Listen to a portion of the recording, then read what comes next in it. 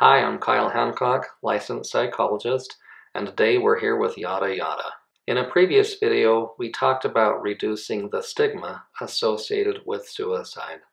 Today, I'd like to talk a little bit more specifically about how to respond when someone we love comes to us and tells us he or she might be thinking about taking his or her life.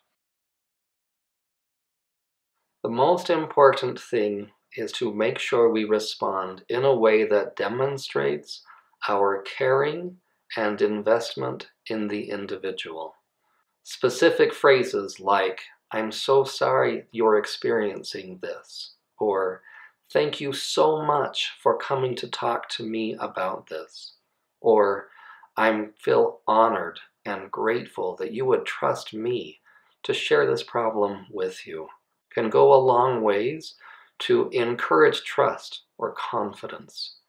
Your job as the confidant is not to solve the problem for the person. My job as a licensed psychologist is not to solve the problem for the person.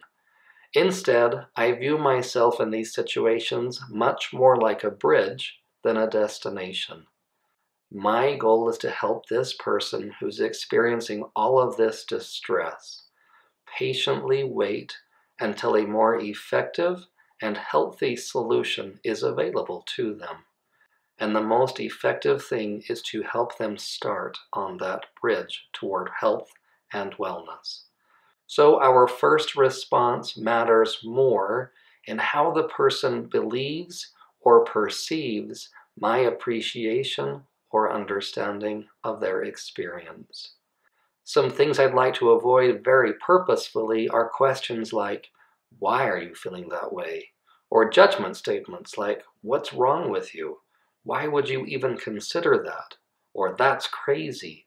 I can't believe you're telling me this. Even if that's your first reaction, unfortunately, it communicates to the person who is hurting that he or she should not have come to you in the first place. Sadly, when people do not believe they are understood or appreciated, they tend to walk away from support services very quickly, sometimes never to return. So, the most important thing you can do is respond with compassion. Demonstrate a sincere investment in the individual, and doing so communicates inherently that you have trust in them. Rather than offering specific solutions immediately, instead help the person know that they've come to a source of support or encouragement or appreciation that can serve as that bridge and can guide them to resources, professional supports, encouragements that can help resolve whatever crisis they might be facing. Another important tool is to investigate how serious or imminent the risk is. Please don't let the person out of your sight within reason. Offer for them to stay with you. Offer to go with them somewhere. Offer to have them go with you somewhere. Just do the best you can to keep them close by you. Because suicide behavior itself is very personal, it's very uncommon for people to use that behavior when they are surrounded by others. So a simple risk mitigator we can use is bring them physically close to us and help them feel that support. Once you've gotten the person reasonably safe, please call your local suicide hotline.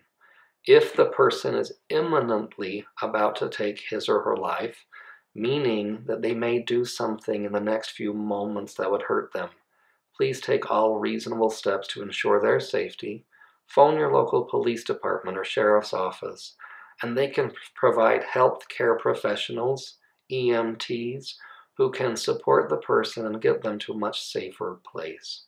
Again, your goal is not to solve the problem, it is only to be able to serve as that bridge that connects them from the crisis they are currently in to a place of support and healing an opportunity to create more time to find more solutions.